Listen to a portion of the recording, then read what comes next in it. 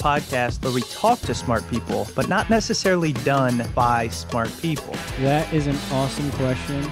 This one goes down probably on one of my top five. Hey, I like nutrition. I like to eat food. This is the coolest thing ever. We're going to do this forever. I wish I paid more attention in that class. You know, I'm going to be honest, I don't understand that. As a man, I just I don't get it. Welcome to smartpeoplepodcast.com. Hello and welcome to Smart People Podcast Conversations that Satisfy Your Curious Mind. I'm John Rojas. I'm excited to be talking to you all again. We kind of went to the bullpen here because Chris evidently is, you know, getting up there where uh, he he unfortunately threw his back out, uh, has a herniated disc, and is uh, just laying down in bed trying to get some rest. So I told him, you know, take it easy.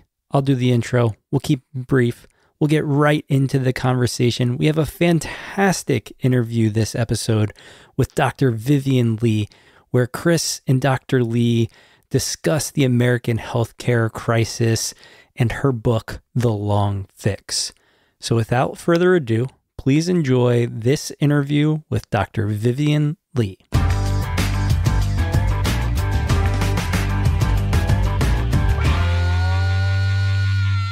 There's so much to talk about. Uh, your work at Verily Life Sciences, uh, your new book, The Long Fix. We're talking about solving healthcare. And what's interesting about a book like this is when you wrote it, coronavirus wasn't even a thing. I'm assuming when you first started this, it was long before. Uh, am I correct in that assumption? Sure, years ago. How has your thinking changed, if at all, in just the past you know, four months at this point. Well, the coronavirus uh, pandemic has just been a stress test for our healthcare system. And it's just showing all of the flaws and limitations that many of us have already been aware of for many years. But it's just, you know, as a stress test, I think we're really failing that. And it's just made it even more imperative that we understand why our healthcare system is broken and really get to work on fixing it. Absolutely. And who better to kind of help us about this? I was kind of reading through your your CV and when it comes to people's backgrounds, I'm just so addicted to knowing all of their qualifications. So I just have to say, former chief science officer at NYU's Medical Center, former CEO of University of Utah Health, Harvard at 19, MD from Harvard, Rhodes Scholar, Oxford PhD, MBA from NYU, valedictorian. I mean, this is, come on. Like, really? Come on. How does this happen? I thought those were the credential I had to get to get on to smart people. I mean, no? partly, don't get me wrong, partly, but this is a whole nother level. I'm just very curious about realistically, there's there's a motivator there. There's something that motivates you at such a young age to excel at one of the most incredible things I've ever seen. What was it? Well, that's first of all, that's really a flattering um, way to ask that question, and I would say that I've always been uh, just really curious about things. I think that's part of the reason why I have become so interested in healthcare. It's because I feel like it's one of the most complicated things and most difficult problems and complicated issues to understand. And so I've really, really just it sort of has really piqued my curiosity.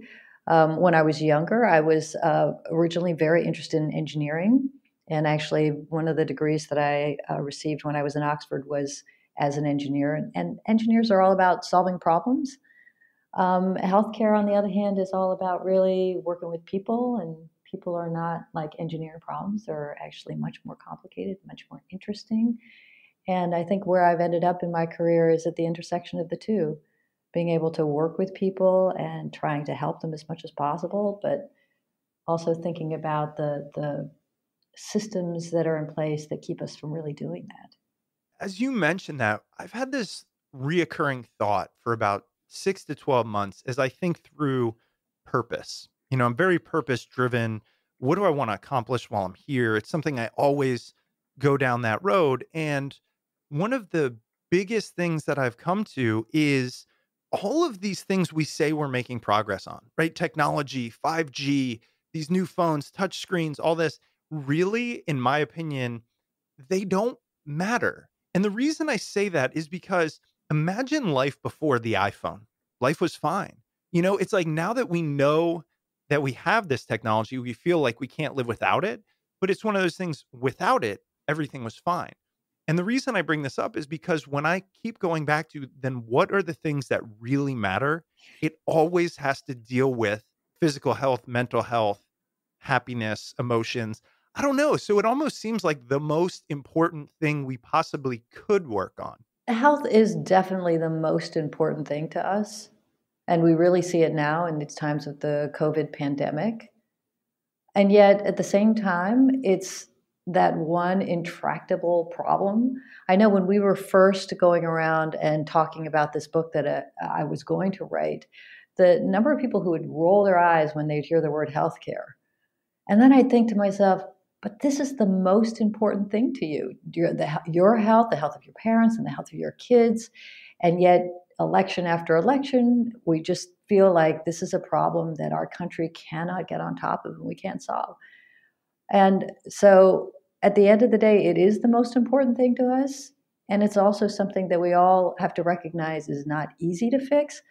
But if we don't step up to it, we're, we're just, you know, we're, we're setting up our country to, to, you know, fail in future preparation too. So we, we just have to really get on top of it. Now, when you say technologies don't matter, I do want to say that I think technology does have a huge role to play as part of helping to fix our healthcare system and helping mm-hmm. to make people be healthier. Maybe it's not necessarily. Um, uh, maybe it's not necessarily. It, it's not the only thing that's important, uh, but I think it is something that's going to uh, accelerate um, the the way in which we can care for people. And we're seeing it now with telehealth, for example. How can we use technology to keep people connected to the healthcare systems? It's such a good distinction because I I definitely didn't articulate that well enough because what one of the things I've thought about is, for example, how many of our brightest minds are working at startups whose job is to create the next killer app or invest in the next XYZ company. I know when I graduated college, the big thing was going into finance. And there was this whole issue with because that's what I did, and it was awful. Um, there was this whole issue with a lot of the smartest people, myself not included, um, were going into finance rather than the places we needed needed them, things like science and healthcare, and so it's part of, and it's part of the reason why your book is called The Long Fix. I mean, it's all this long, detailed process. But what I'm wondering is, how does the U.S. actually compare to the rest of the world? Because we are constantly trying to sift through different messages on where we actually stand as it relates to our healthcare system and its effectiveness? The U.S. has uh, by far the greatest healthcare bill in the world. We spend two to three times as much on healthcare per person than most of our peers in Europe, Canada, Australia, New Mexico, and at the same time, our health outcomes on average are significantly worse. We don't live as long. We have higher infant mortality. Our, ba- our babies are more likely to die. Uh, we have a higher rate of obesity and chronic diseases than most countries on average. Now, that doesn't mean that we don't have access to some of the best healthcare in the world. It's just, it's not evenly distributed across the country. And so as a result, we have overall much lower health statistics than most other developed countries. And that, in part, is because we have so many people who have no access to health care or very little access. So, about 8 to 10% of the American population is still uninsured. And that means that they don't have access to the kind of obvious preventive medicine solutions that they should have access to. For example, instead of taking a 10 cent blood pressure pill every day, they end up having hypertension and develop strokes and heart attacks and show up in emergency rooms and in our hospitals and are uh, you know, suffer as a consequence of that. And so, as a result, we see that compared to the rest of the world, we are not performing as well as we could, even though we have some of the best scientists, some of the best people making very important discoveries, finding new drugs than anywhere else in the world. It is really a paradox. From my perspective, I do believe that our healthcare system is broken. And clearly, it's one of the most talked about issues at the moment. But what it sounds like you're saying is the reason we rank so low in a lot of these categories isn't because we don't have the resources or the skills. It's just that they are not distributed to everyone. So, is it fair to say if we had the exact same system we had now, call it same resources, same doctors, same technology, but everybody in our country was had access to it, we would then be in the top. And and when I say in the top, it's not for a competition sake, it's just to give us a comparison. So, is that fair to say it's mostly an issue of access and not an issue of capabilities? Actually, it's an issue of, uh, it's a really, that's a, such a great question that you're asking. Because one of the pieces of it is access. And the reason why people don't have access is because we're spending so much on everyone else. So if you look at, as I said in the earlier, we are spending two to three times as much on healthcare than any of these other countries. And the reason for that is because we're really wasting a lot of money in our healthcare system. And why are we wasting money in our healthcare system? Because we are set up to incentivize our doctors and our hospitals and our pharmaceutical companies to spend more, to overdiagnose, to overtreat, to do things to people rather than incentivizing them to achieve better health. So, some of the statistics really I found shocking in the course of doing the research. We are wasting 30% of every dollar we spend on healthcare. And right now in this country, we spend about $3.5 trillion on healthcare. So, we're wasting more than a trillion dollars. Wait, is that 3.5 trillion a year? A year on healthcare. What? And we're wasting more than $1 trillion of that every year. Now, when, when you say waste, how do we how do we define waste in this equation? Well, if you think about the way in which we practice medicine now, and I think many people may not understand this because we don't talk about it that much. Our healthcare system is designed to incentivize doctors and hospitals and just everyone in the healthcare business to do more to people. We call it in the business a fee for service model. I call it paying for action. We pay for doctors to do operations, to refer you to specialists, to do lab testing, to prescribe medications. We pay for action, we don't pay for results. So we pay for operations even if you don't necessarily need them. So one of my biggest pet peeves is low back pain, for example. So mm. many Americans, so many, I don't know if you've had an episode of low back pain, Chris. I oh, hope yeah, not. let's talk about it. But okay, wait, I'll let yeah. you go first. right? Okay. So you have pain, you go see a, a doctor. And in the way our healthcare system is structured now, that doctor is most incentivized, and I'm not saying that they all will do this, but they're most incentivized. The way in which the system makes the most money is if you go and have an MRI scan. I'm a radiologist, so I would say thank you very much because that's more business for me. And then to send you to the operating room for a surgeon to operate on your back. That's how the healthcare system makes money. Evidence shows now, through research study after research study, that most people with back pain, especially if you don't have any neurologic symptoms, so um, no weakness in the legs, you know, nothing that shows that the back pain is actually affecting your nerves. If you have what they call uncomplicated back pain, you really need to just have rest, maybe some physical therapy. And for most people, that back pain gets better within a month or two. Hmm. In this country, we overoperate because that's how our healthcare system is set up. And if you were trying to run this business, what would you do? You'd buy more MRI machines and you build more operating rooms because that is how you make a profit.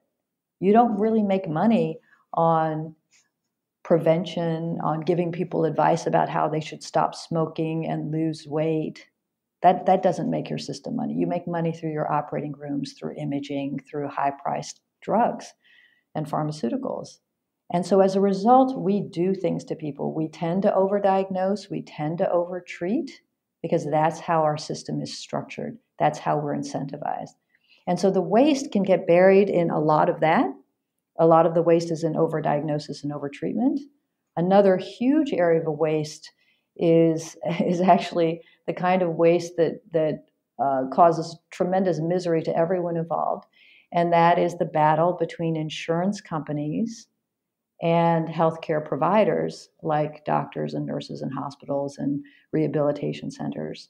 The battle between insurance companies and providers for our healthcare dollars. Mm. And we sometimes get caught in between as patients, and that's what we talked about in terms of surprise billing that you read about and hopefully have not experienced personally. But surprise billing is when patients get stuck in between. But that battle between the two means that we spend about 8% of our healthcare dollar just on administrative paperwork. Just right. doctors sending bills to insurance companies, insurance companies denying them, sending the paperwork back, back and forth, back and forth. That's causing 8% of our healthcare dollar. Let's take a quick break for this week's sponsor. This week's episode is brought to you by Mint Mobile. I got my first cell phone with one of the big wireless providers mm, 20, 25 years ago, and I've honestly hated my monthly bill ever since. But then I discovered there's another option that could give me the premium service I'm used to at a fraction of the cost. I could cut my wireless bill down to just 15 bucks a month and save hundreds of dollars by switching to Mint Mobile. For anyone out there who's looking to save without sacrificing service, switching to Mint Mobile is a no-brainer. For customers that hate their wireless bill, Mint Mobile offers premium wireless for just 15 bucks a month. By going online only and eliminating the traditional cost of retail, Mint Mobile can pass significant savings on to you. Every plan comes with unlimited nationwide talk and text plus crazy fast 4G LTE. You can use your own phone with any Mint Mobile plan and keep your same phone number along with all your existing contacts. And if you're not 100% satisfied, Mint Mobile has you covered with their 7-day money-back guarantee. Switch to Mint Mobile today and get premium wireless for just 15 bucks a month. To get your new wireless plan for just 15 bucks a month and get the plan shipped to your door for free, go to mintmobile.com slash smart. That's mintmobile.com slash smart. Cut your wireless bill to 15 bucks a month at mintmobile.com slash smart. And now back to the episode. And that's, I cannot wait to get into the fix with you. How do we actually fix it? Um, and I actually don't know a lot about your stance on this, but what's interesting, I, I, was watching the Democratic debates not too long ago. Obviously, healthcare is at the forefront, and they talk about how we're we going to pay for this. And I'll never forget one of the things Bernie said was, you know, look, we're spending X amount. I guess it equates to that eight percent just on this administrative work that would no longer be there. So right off the top, we're going to save, you know, eight, 10%. And I remember thinking like, that is not talked about enough for all the things we government can be wasteful. I mean, I'm I'm a huge believer in that as well. But I think there are some inefficiencies that could be controlled due to this. And again, I uh, we are absolutely going to get into your fix for this, but I want to keep going into the problem a little bit. On a global level, are we the only ones who have this issue of the model where the healthcare workers are incentivized to bill more? We're probably we're not necessarily the only system in the world that has a, some element of this.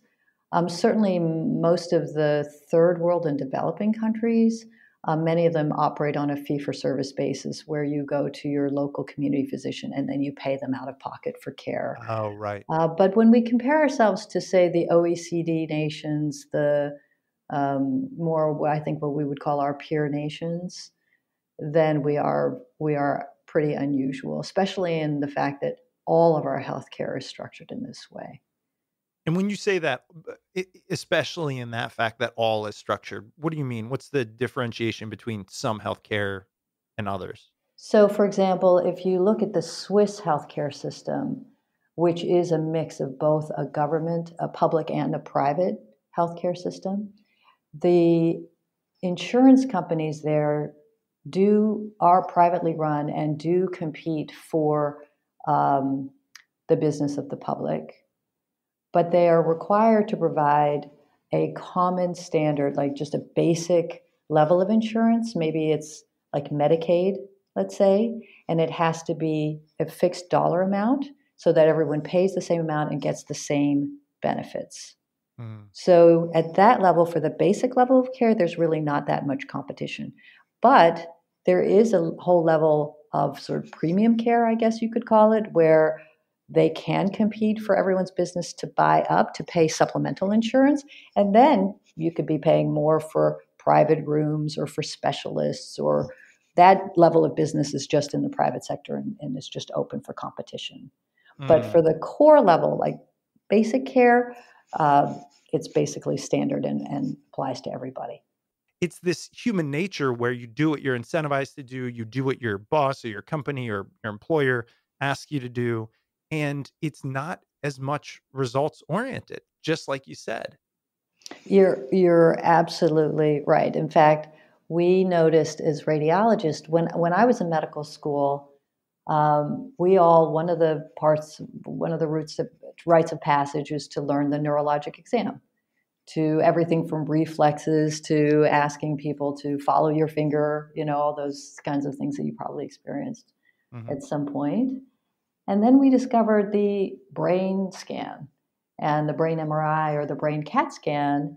And now I'd say there's there's a few generations of folks who really have come to completely rely on the imaging studies because that's just how the system has been incentivized and also because everybody is really busy and also have to mention worried about medical legal consequences as well. So always better yeah. to err on the side of caution and so as a result our system has just evolved away from uh, a lot of the more traditional ways that we many of us grew up practicing medicine, and, and it's yeah. kind of a shame. And, and what you're saying, really, Chris, also um, leads me to to emphasize that it's really the system that is incentivizing this, as you've also said. Most of the people within healthcare really wish that our system was different. In fact, about half of physicians are actually burned out Mm-hmm. And that is actually a diagnosis. And that was before COVID. I, I can't even imagine what's going to what the numbers are going to look like after COVID. Mm-hmm. Uh, because the you know from a physician perspective, what's happening is the health system is incentivizing their bosses and the hospitals that they work for and the clinics that they work for to get them to do more and more and more. And they're also at the same time the same individuals who have to deal with the paperwork and fight the insurance companies as they often think about it as being. And the administrative burden couple of hours in the morning couple more hours at night what they call pajama time just with the electronic medical records. And so as a result we also have a whole workforce that is dying for a better healthcare system um, so it's it's i think it's a really important time for for change to start happening I talk about this a lot with my wife. She's a teacher, and there's a little bit of an analogy there where teachers have been almost, in my opinion, boxed in. They're scrutinized. Their their kids are tested. My wife is a kindergarten teacher, and she has to test kids. I want to say four times a year. I mean, they're they're five years old, you know, and it's it's testing, it's standardized testing, and it's all to get to the standardization. And the problem is, every teacher I know, everyone my wife works with, they are far more interested in the kids' outcomes and the kids' well being than anyone could ever test them to, than any system could make them be. If anything, what I believe is the system makes them less effective. People get into these industries because they want to help people. And what oftentimes I think is we are constraining them by making them follow a set of rules. Do you see a lot of similarities in healthcare? Oh, I so agree with what you just said. Mm. Uh, in fact, I think one of the core problems is that, uh, or one of the core opportunities is that if if we could just enable the people who've come into this profession, just like the folks who become teachers, to uh, to put forward their ideas and to let them express their own desires. Have, you read that book, Drive? Oh yeah, by Daniel Dan- Pink. Dan oh, So Pink. I think that really Oh, applies to the population of physicians. Like there's a, a guy that I interviewed for this book. His name is Rushika Fernandopulle. He's a physician in Boston, and he tells me this story about one night he's working in his practice. It's one of those miserable, really short days in Boston. Sun's already gone down, even though it's like four in the afternoon. and uh, he and a colleague are sitting there and they're digging through all the paperwork and they know they're going to be there late at night. And they're just thinking, is this really how we should be caring for patients? We saw patients every 10 minutes, you know, and now we're kind of checking through all the records and doing all the paperwork. And he just quit and decided to set up his own practice, a new business model. It's called Iora Health. And what did they do? They said, okay, how can we figure out a way to care for our patients, especially elderly population, better and do it in a way where we actually get paid the right way? So they worked out a contract with Medicare. Medicare pays them a fixed amount of money every year, a certain amount of money per patient that they care for, and then lets them figure out how to spend that money to keep those patients healthy. Oh, and wow. partly, partly they're paid by if the patients are satisfied or not, right? So mm-hmm. they bend over backwards to make sure that the patients are satisfied because they want them to stick with them. But what do they do? Well, instead of assigning 2,000 patients per doctor, which is a typical ratio in most primary care clinics, they assign about 600. They hired a few health coaches to work with the sickest patients, people from their communities who spoke their languages, for example. They offered um, yoga and Zumba classes. They actually partnered with Lyft to make sure that the patients could get to their clinic appointments. Uh, they reviewed all their medications really carefully and de-prescribed. You know, a lot of times elderly patients, especially, you know, they come up with these bags of pills and they don't even know what they all are. Yeah. So they went through all their meds and made sure that they were on the right meds. And at the end of the day, they said we spent more time with them and that cost us more in the clinic. But because we were responsible for patient as a whole, we actually found out that we could lower their hospitalizations by 30%. Wow. So just by reducing their hospitalizations, that meant they were keeping them healthier, but they also made a business model that worked because they saved enough money by keeping them out of the hospital to pay for the primary care. So it's like your wife. If you actually gave her the opportunity to define, well, how would you want to be evaluated? How would you want to make sure that your kids were learning?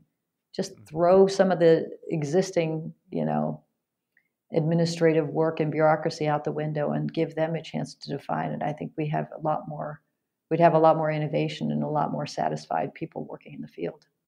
And now a quick word from this week's sponsor. Listen, I'm going to be honest, there's a lot going on in the world right now. And some of us can probably use someone to talk to. BetterHelp Online Counseling is there for you. Connect with your professional counselor in a safe and private online environment. It couldn't be easier. It's super convenient. You can get help on your own time and at your own pace and you can schedule secure video or phone sessions plus chat and text with your therapist. If you need someone to talk to, there's licensed professional counselors who are specialized in depression, anxiety, relationships, sleeping, anger, grief, self esteem. You name it, there's somebody there for you. And everything you share is confidential. If you're not happy with your counselor for any reason, you can request a new one at any time at no additional charge. BetterHelp has 3,000 US licensed therapists across all 50 states. So get connected and talk to someone today. And best of all, for Smart People podcast listeners, it's a truly affordable option. Our listeners get 10% off your first month with the discount code SPP. So why not get started today? Go to betterhelp.com slash SPP. Simply fill out a questionnaire to help them assess your needs and get matched with a counselor you'll love. One more time, that's com slash SPP. And now back to the episode. The the common pushback is, and especially in America where you have this income inequality, and I think I can represent a decent perspective here because I fully recognize I am very lucky. It is not for hard work. I, I mean, we have great healthcare. So, from my perspective, if I wanted to be selfish, I could say, look, this system works for me. I mean, we spend so much money on healthcare, but like I get to use it. I can go to these amazing doctors. We've got hospitals everywhere. Um, I can afford it and I can give myself the best chance. Now, I realize that would be a selfish perspective. But for those people that have that perspective, they fear that, you know, if we change healthcare, yeah, it might be better for the majority, but it might be worse for them as the quote unquote minority. Tell me the reality behind that. Is that true? Would it get worse for us? Would we have these long lines that people talk about are happening in Canada? If we're wasting one third of our healthcare dollar or more than a trillion dollars on healthcare, that's everybody is impacted on that. Mm. And I think one of the things that most people don't realize in healthcare is they think, you know, I'm lucky, I'm insured, I'm not really paying for healthcare, or I'm I'm covered by Medicare. So my insurance is sort of taken care of. The reality is that we are all paying for healthcare, and we're not even just paying for it once or twice. We're actually paying for it at least three different ways. It's just it's just hidden or a little bit invisible to us. So so for example, if you if you think about our generation compared to our parents' generation or even before that, our wages across the country have essentially been flat for about the last 50 years. And that's because healthcare costs have been eating away at our wages. We don't really see it, but it's happened. You also know that uh, it's not only actually eating away from our wages, it's also cutting into our retirement money. So employers used to put uh, more than half of our benefits into retirement, and now it's only about a third. So it's sort of an insidious effect. We don't necessarily, we're not aware of it every day, but it's really cutting into our wages. We're also, of course, paying for it explicitly through our Medicare taxes. We're paying for our, the healthcare of the future for, for those of us who are still working now. And then actually, there's a third completely hidden tax, which is because of the way we set up healthcare in this country, employers who pay for health insurance for their employees do so as a tax benefit. And so that actually reduces the overall amount of taxes that go to the government that we pay. We make up for that through our individual taxes as well. So we're paying for the high costs of healthcare right now. Uh, individually, we're paying for it, and then we're paying for it kind of at a macro level across the whole society. And it's really been impacting uh, our uh, competitiveness as a country. Um, I remember some of the initial data that I was looking at when re- researching this book, where uh, you know, the folks at General Motors, for example, were lamenting the fact that they were spending more on health care for their employees than they were still in the cars. Wow. And the big three were complaining back in the days of the bailout that it was really because of health care that they were failing to compete successfully globally. And I think we're seeing that not just in the in the auto industry, we're seeing that across the board in this country. So the question becomes can we lower costs, increase access, keep the same or increase availability, right? So wait lines, you know, all that, and lower costs and increase results. Yes, we can. Okay, we need that magic bullet. Come on now, give me that magic bullet. By the way, like, here's why I've been waiting. This is my crescendo. You're one of the smartest people I've ever talked to. So I have always been this believer in outsourcing my initial opinions. Of course, I'll internalize them to the people who know it best. So I'm ready. Just tell, just give us the answer.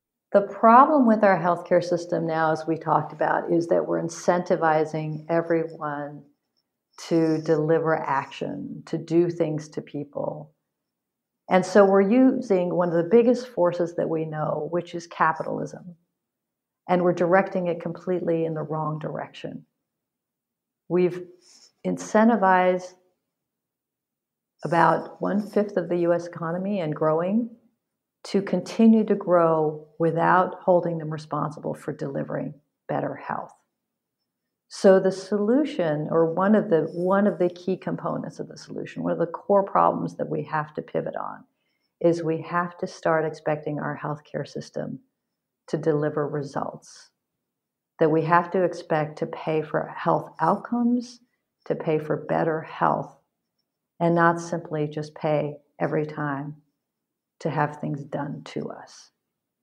Hmm.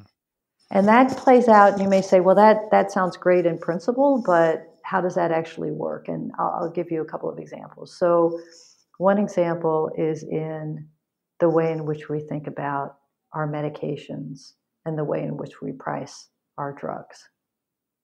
This is an area that we've been reading about a lot in the news that our, uh, our government has been thinking about and trying to work on.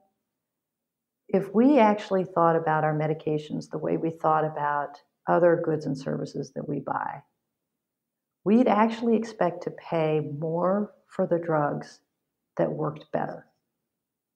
We'd actually expect to pay less or nothing for drugs that don't work at all. And we'd expect to know which drugs work better and which drugs don't. That data, those data are actually available. We could, and, and in other countries, actually, the, the governments do use that data to decide which drugs to pay for and which ones don't. Uh, there's a, a whole um, governmental unit in the UK there are other organizations in Canada. We even have organizations in the US that look at what they call the cost effectiveness of drugs. So, how much does a drug improve life or improve health for a person compared to how much it costs? And they use that in order to decide which drugs to cover and which drugs not to cover, for example, in the UK and in Canada. We don't use those data in the US we pay whatever the whatever the pharmaceutical companies however high they can price their drugs that's what uh, we really essentially end up paying. What are some drugs that are currently prescribed fairly often? So there's a large cost that really don't meet that criteria. What what drugs are we taking as americans that don't really provide a benefit? Well they may provide a benefit but the benefit may not be um, worth the amount that we're paying.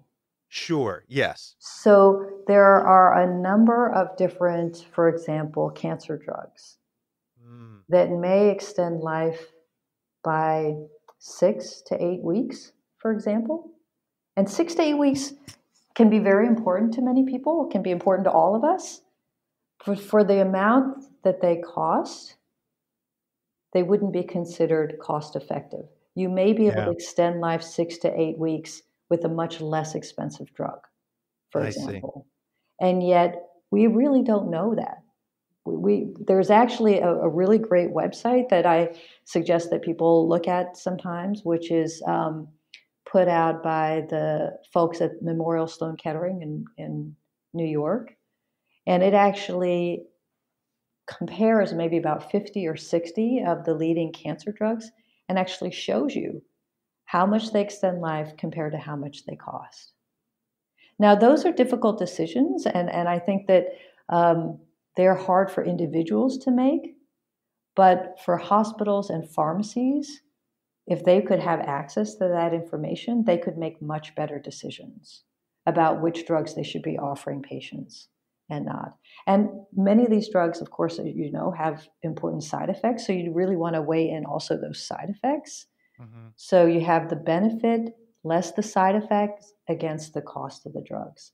And if we could make that information widely available to people, then all of those people who are um, responsible for deciding, for example, what drugs should be available in the pharmacy of a particular hospital or of a given health system, could actually make better decisions that could then guide the physicians and others who are prescribing those medicines. And and like you said, that is one that's talked about often. I mean, when I hear about things like um, you know, insulin or EpiPens, I mean, those costs. It, at some point, we have to regulate. We we have to have government intervention there, don't we? Uh, I think there's important government regulation right now in terms of just looking at the safety uh, of medications through the FDA process. Um, I would love to see more information about the actual cost effectiveness of drugs. Hmm. Uh, there are, uh, through the Affordable Care Act, there was an entity that was set up, the Patient Centered Outcomes Research Institute, um, which is a branch of the government that uh, funds research to look at all different kinds of treatments, including medications. But right now, through um, it's actually part of the law, they're not allowed to use uh, cost effectiveness data to evaluate different treatments. Mm. So they're only allowed to look at does it extend life by a week, by a month, or you know how does it actually affect a patient? But if it cost a million dollars to extend life by a couple of days, they're not allowed to look at the cost piece of it. This week's episode is brought to you by Audible. At Smart People Podcast, we absolutely love Audible. We know everybody doesn't have the free time to sit down and just read all day, but we do know that you have the ability to listen to things throughout your day because, hey, you're listening to this podcast. You could be listening to audiobooks as well. And I know plenty of you are still going strong with your New Year's resolutions, whether it's getting fit, reading more, or becoming a better parent, leader, person, whatever it may be. And Audible can absolutely help you with that. With Audible, each month, members get one credit to pick any title plus two Audible originals from a monthly selection. You can download titles and listen offline anytime, anywhere. And the app is free and it can be installed on all your smartphones and tablets. One of the coolest features of Audible, you can listen across devices without losing your spot. And if you can't decide what to listen to, don't worry. You can keep your credits for up to a year and then use them to binge on a whole series if you'd like. Head over to Audible and check it out. So listen up. Visit audible.com slash smart or text SMART to 500 500.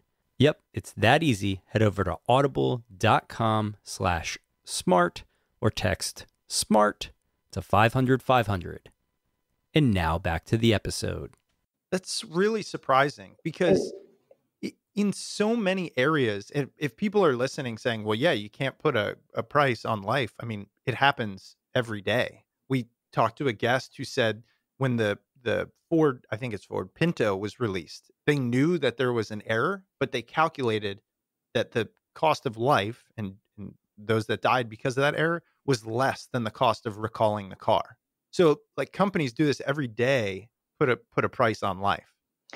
They do. And but additionally when you start looking at things this way, you also start to realize just how valuable prevention is. Mm. So you talked about insulin. Uh, one of the areas that uh, we work on in the company that I work for, Verily, is uh, a way to enable diabetic patients to actually manage their blood sugars and to manage their diabetes uh, better just through technology, like a continuous glucose monitor that they can put on their arm and actually measure their blood sugars. And then they can track their food and they can actually look at how their diet and their exercise might be affecting their blood sugar. And that has actually been shown not only in our company, but in others to significantly help improve their ability to manage their their blood sugars and to reduce their dependency on some of the medications like insulin and some of the oral drugs. So once you start looking at the cost effectiveness, that's when you start shifting from saying, oh, I need to do more, I need to prescribe more and more expensive things to, oh, actually, the most cost effective treatment is actually prevention.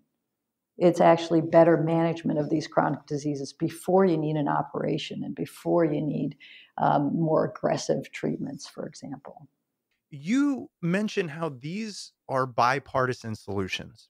And I think when people hear the word healthcare, it instantly becomes a partisan issue. So I'm really interested in your stance on how can we present a solution that in today's, you know, really polarized political environment, we could actually take action on this. Healthcare is a it ha- health has to be nonpartisan, or bipartisan because health matters to to all of us.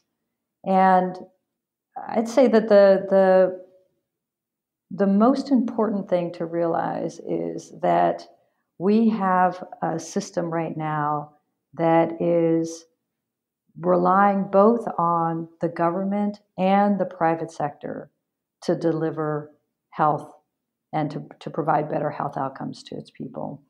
And we have to be able to work together so that both the government and the private sector are able to deliver on that. And one of the most important things that we have to get right is to understand that both in the private sector and in the public sector, everyone who's paying for healthcare has to be paying for better outcomes and paying for better health. It doesn't matter whether it's Medicare or commercial insurers who are being paid for by the by the employers. Uh, if we can get that alignment, um, then I think we're just going to see much, much better health outcomes for the whole population. Most people don't realize now that Medicare is actually mostly paid on a fee for service basis. Medicare pays people to do more things to people, pays for action, not for results. And so we need to pivot both Medicare and the private sector to paying for better health and better outcomes if we want to start moving moving healthcare in the direction we need to. Yeah, and I feel like if we started with Medicare, that would have such a big impact on, you know, these healthcare companies that they would almost be forced to move in that direction. Exactly. So Medicare has already been making some initial steps in this direction. So they, for example, by rolling out some of the Medicare Advantage programs, like the one that I described, uh, Iora Health embracing, they've given the responsibility to spending money in healthcare more wisely. They've given that responsibility to some of these medical groups. And these medical groups are showing that by investing in spending more time with their Medicare patients who might be on multiple medications, might have multiple conditions, if we spend more time with them, if we offer prescription refills conveniently on site, if we offer transportation to the clinics for those who can't afford it, if we give them access to um, better physical fitness programs like yoga or Tai Chi, um, teach them some fall prevention classes, offer those, that we can actually really improve their health outcomes and reduce the cost of care and save about a third uh, of their health care bills in the following year. Those are huge savings. And by keeping every elderly patient out of the hospital, you're keeping them independent for longer um, and you're just improving their life so much more. So it becomes a win win. And that's really what we need to start achieving. Last question is just why do you think we're struggling with this change so much? I mean, so many people want the change, so many people see and experience the problem, especially now with coronavirus why are we really so slow to act, so slow to change, and so resistant to it? One of the reasons why it's the long fix is because it's a really complicated problem. And there are very many people. It's, it, healthcare is about 18% of the US economy. So there are a lot of people who's, who feel I think, as you mentioned earlier on, that they have a vested interest in the status quo or they're worried about change. As much as there's many people who want to see change, there are many people whose lives are dependent on the, the way healthcare is now. So I think at some point it really comes down to um, leadership. I think we need to see that some changes need to take place now in terms of the health policies that are being administered um, we are seeing some of that leadership already, but we needed to move faster. So, some of the initiatives that uh, the folks in the Department of Health and Human Services have put forward to try to move payment models to paying for better health outcomes, they just need to move faster. We also need to see the employers band together and work more effectively because the employers pay for healthcare for about half of the American population. Mm-hmm. And I actually offer a number of recommendations, an action plan for how employers can take more control over the healthcare bills of their employees and try to improve the health as well as reduce their cost of care. Um, and we need to recognize that this is a problem that we all have a role in. And we have to understand what the problem is in order to support our leaders in making those changes. Absolutely. Absolutely. Well, Dr. Lee, you know, and everyone listening, your brand new book is called The Long Fix Solving America's Healthcare Crisis and Strategies That Work for Everyone. And there's so much we could cover. I mean, I'm like, man, I'm going to have to start moving my podcast interviews to two hours. But I know that in your crazy world, an hour is a day. So I'm so appreciative of the time you've taken. I want to recommend that everybody pick up this book because, in my opinion, and as you've just heard, it is perhaps the most pressing issue of our life, and everybody has a role to play. It's one of my favorite parts in your message is what can each and every one of us do? As we let you go, I just wanted to ask is there anything else you'd like to leave with people or anywhere else you would like to direct them? Of course, we'll link to the book. Um, I was actually searching for that the website you mentioned about Sloan Kettering. Um, anything else for us that you would kind of impart upon us on where we can learn about you, find things, etc. Well, I, I have a, a website, uh, vivianleemd.com. And I think the final message that I have for you is that I, I feel very optimistic about our future, um, not only because I feel like we we are at uh, this sort of moment of crisis and everybody is really focused on how we can improve health uh, for our people for the future so this never happens again to us, but also because um, the reason one of the reasons why I wrote this book was for our first year medical students back when I was the dean at the University of Utah.